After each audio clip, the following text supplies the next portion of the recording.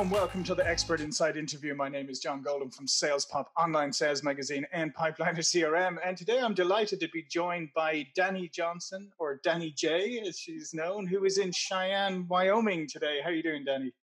I am doing really, really well. Excited to be here. Yeah, and Danny is a serial entrepreneur. Uh, you know, she's uh, owns successful personal training, online training businesses. She has a no excuses um, philosophy. She now goes and helps businesses uh, with their, getting their brand and getting their message out, increasing revenue, helping people get out of debt, all this great stuff. But she does it from a position of uh, taking control and, and no excuses, which I love. And I thought today so we're in Q4 uh, for a lot of people who are on calendar fiscal years. We're in Q4, and some of you out there, particularly carrying large sales quotas, may be panicking a little bit right now, or thinking, "Oh my goodness, like I still have this mountain to climb. I'm never going to do it. Uh, it's uh, you know, there's only three months left. How am I going to get there?" So. I thought today Danny J could give us some insight into how do you reset your mind, how do you get rid of the excuses, and how do you make sure you don't just hit your target but exceed it before the end of the year.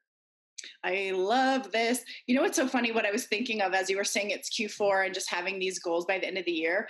The first thing that popped in my mind, and I've heard this before and I don't know who said it, but that 80% of the work gets done in 20% of the time. And I think that whenever we have a large deadline or like a big, big goal, and I don't know, at least for me personally, I get so much done at the last minute because it's that it's that impending I don't want to say doom but that impending deadline that comes up. And so I think for a lot of entrepreneurs at least I feel like a lot of us maybe we're procrastinators, maybe not, but I think this is the time where you really get to see what you're made of and there is really like I had this uh, bracelet for a long time that said believe in miracles. And I was working with a network marketing company and we do our sales quotas by the end of the month. And so, anybody, I'm sure a lot of you guys do like end of month sales. So, like 30th or 31st is mm-hmm. crazy, so much going on. And I was trying to hit a certain goal and a certain rank by the end of the month, and I was about $15,000 away. So, I was like, you know what? I'm going to bed. It's not going to happen. And my team, they knew that I was shooting for this goal. And I, I'm doing the math in my head going, even if this person and this person makes, you know, a sale or sign somebody up, there's no way it's going to happen. And I woke up in the morning and I had passed the amount I was shooting for. So they had made over $20,000 between the hours of like 11 p.m. and midnight on the East Coast. And I had gone to bed on the West Coast at like nine. So after that, I started just saying believe in miracles because I think anything can happen. And if you set your mind and your intention to it, you can do it. But it's about getting really resourceful and honestly, not giving up until the bell rings. Um, one of my good friends, Ashley, uh, Ashley Ray, she's a sales like sales mm-hmm. trainer mm-hmm. from the UK. She says Usain Bolt doesn't start running a race and like looking back at his time while he's running. He goes as fast as he can, crushes through the finish line, and then he turns around to see how he did. So right. I think a big thing is like, don't look at where you are right now. Just keep looking forward to where you want to go and keep sprinting towards the end. And then once you crush the finish line, you can look back and see where you might have been, where you might be able to do better. Yeah, because I, I could agree more, but because I, I, think we're very good at sort of going, oh, well, it's only three months left. What can I do? Or this isn't going to happen. I don't have anything in my pipeline. We're very good at coming up with get out of jail cards, right? Yeah, and sort yeah. of excuses. But as, as you say, if you flip it over and you go, okay, if I keep focused and I keep going, I can make things happen. And I think that's part of it, isn't it? It's all about momentum.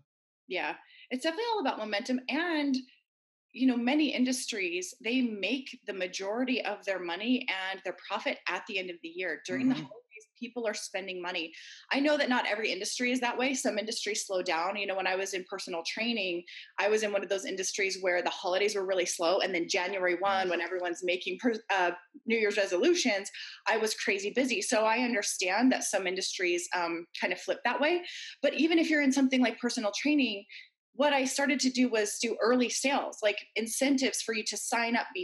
before mm-hmm. the rush of new year's resolutions and just get really really creative i think we we are all super resourceful the one thing we have in our toolbox is our imagination and our mind and if you can start thinking of ways that you can help your customer um, through like associated products or services um, ways to get them to like make decisions before the the beginning of the year then you are able to really like leverage that and then run through the beginning of the year. But just use your brain like get crazy start writing things down on a whiteboard or on a piece of paper. If you can get really creative you can come up with some really amazing stuff especially when your like foot is to the like you're down to the wire your foot's to the flame yeah, no, absolutely, and I think that's a great, and I think that's a great piece of advice too, is because I think sometimes people forget how creative they are. Everybody's creative, and particularly uh, uh you know, all of you in sales out there. I mean, sales is a very creative profession because you have to be, and you're creating almost a new solution for everybody you come across. Even if even if you're selling the same product or service, you're still presenting a slightly different way. It's still meeting a slightly different need. So you're very creative people, and I think that's a great reminder is to to get creative.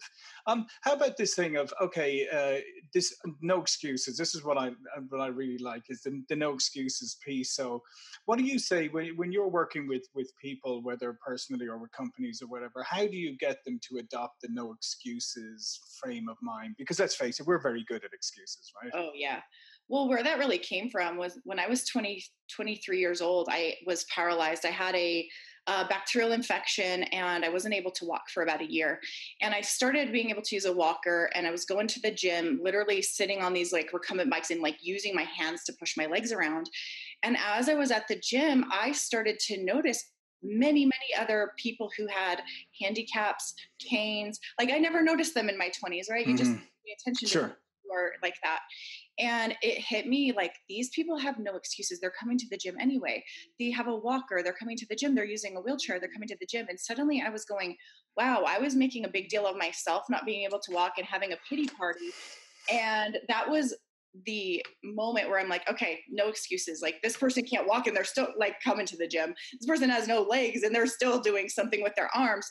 So it turned into just a life philosophy of going, okay, whatever you think your disadvantages can also be an advantage. I, I work with a lot of women and sometimes I hear moms say, well, I'm a mom and I don't have time. And I, to me, I don't have children, but I look at a mom going, well, you have many more opportunities to meet people, to meet more prospects. Like if you're dropping your kids off at school, mm-hmm. dozens and dozens of other mothers who potentially are contacts or people you can sell to. So I think take your perceived disadvantage and look at it from another perspective, and that could actually be your greatest advantage. And I really believe that we all have certain advantages, certain disadvantages, whether it's our location you know we're in a small town i hear that like there's not enough people but you have an opportunity to be the one be the expert when you're in a small town versus mm. New York City you're one of many you're one of millions. And so looking at that perceived disadvantage and going how can i turn this into my greatest advantage? and don't make any excuses about that yeah, that, yeah, it's a fantastic point because if you think about it, the person who's in New York City could easily go, oh, well, New York City, it's so big, it's really hard to to meet the right people and the right contact because it's so big. And the person in the small town is going, well, there's not enough people to meet or whatever. And and really, if you flip it, the the person in the in the big city saying, wow, I've got so many people to choose from, I just need to be targeted. And the small yeah. town person is saying, they're easier to get to. Yes, it's so true. It's like we all make up an excuse for why it doesn't work for us, and we can look at the other person why they think it's hard, and then they're they're looking at you going, "No, wait, you have it easier." so I really challenge people to look at those those stories they're telling themselves and go, "Is this actually true?" And if I put myself in the opposite position, how would I how would I work? And I think that it's it's easy to do that because when we're not having success and things feel like we're just reaching out and prospecting and, and talking to people and we're not getting anywhere we get discouraged and that's totally understandable but i think mm-hmm. it does come down to just a story you know and we know in sales that there's there's ebbs and flows there's ups and downs. We're not going to get a win we're not going to get 10 out of 10 so we have to keep our mind right and go cool this is a numbers game. We need to talk to more people. We need to meet more people. We need to present our offer and maybe even look at your sales process and start asking mm-hmm. people to like role play. Maybe you're not asking for the sale enough, like you're meeting enough people, but your sales process is off somewhere.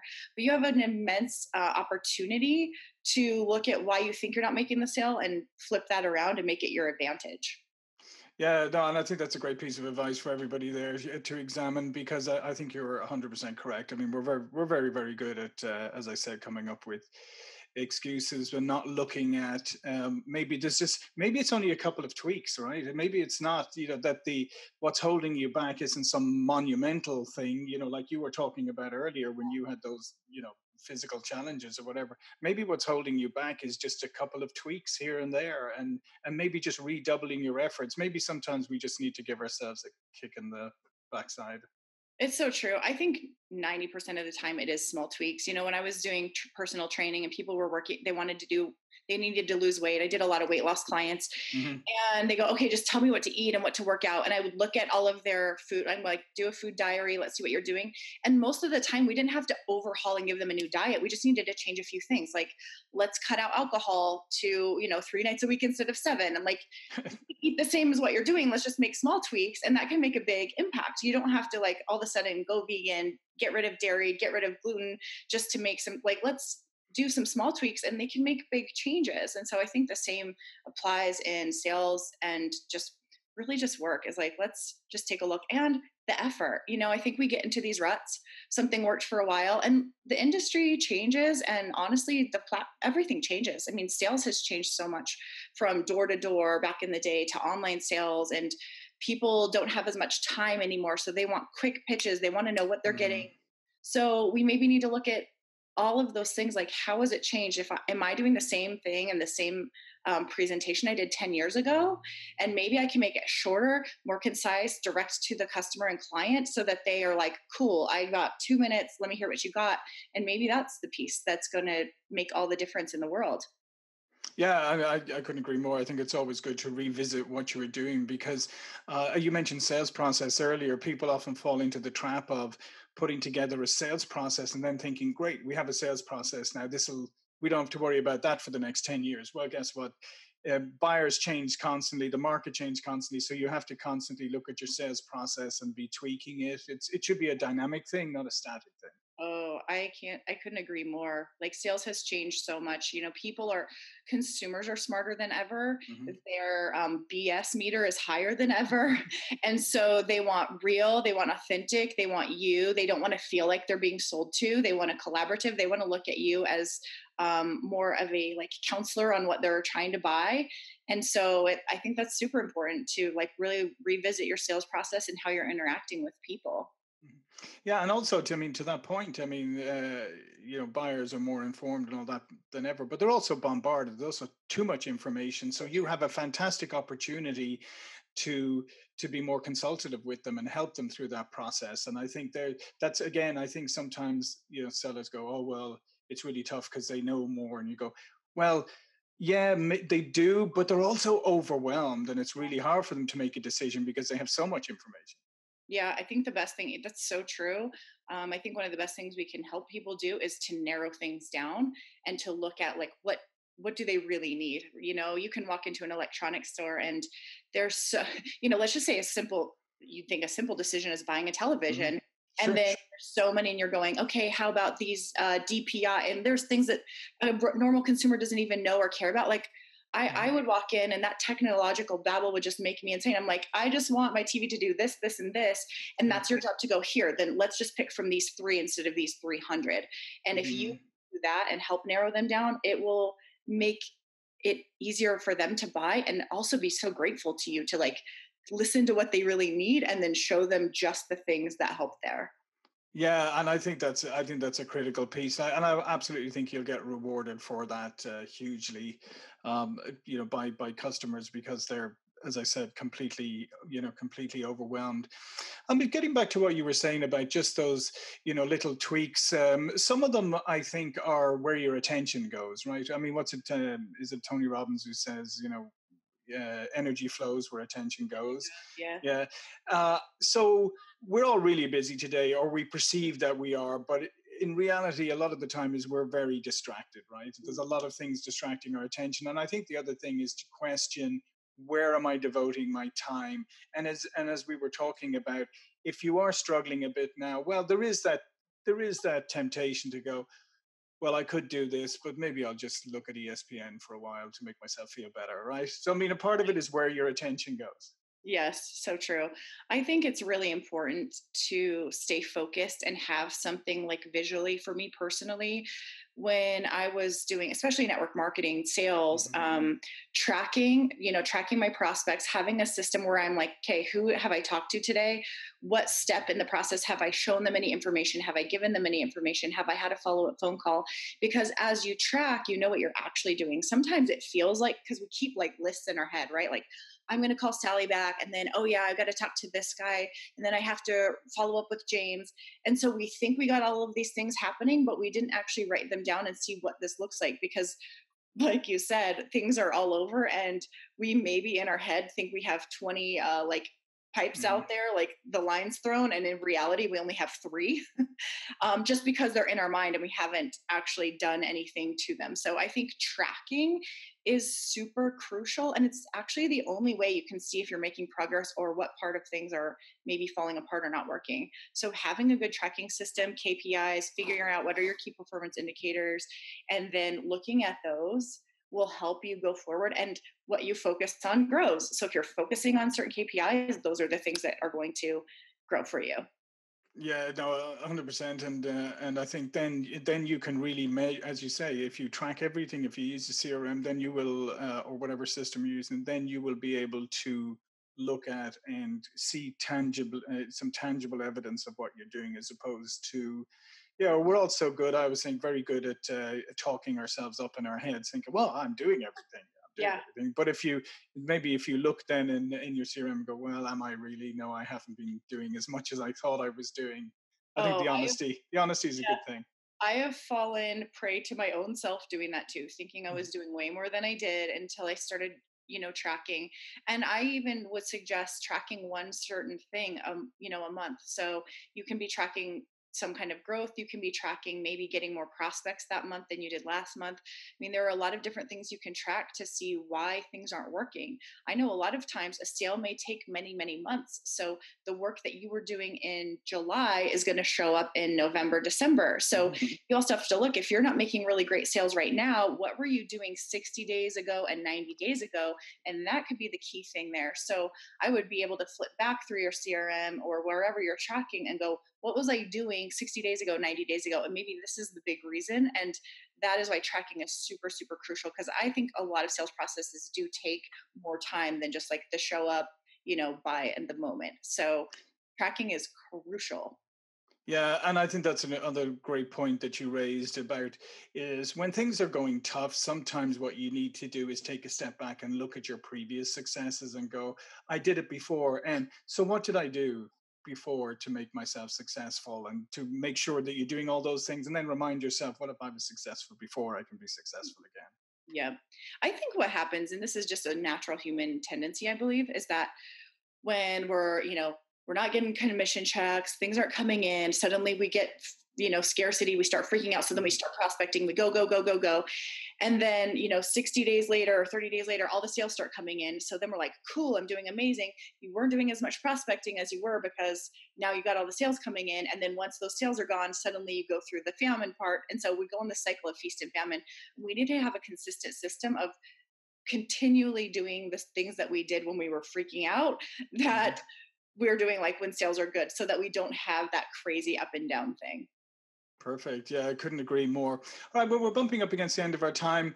Uh, before we go, though, I'd like you to tell people a little bit more about yourself, um, what you do, and how they can learn more about you.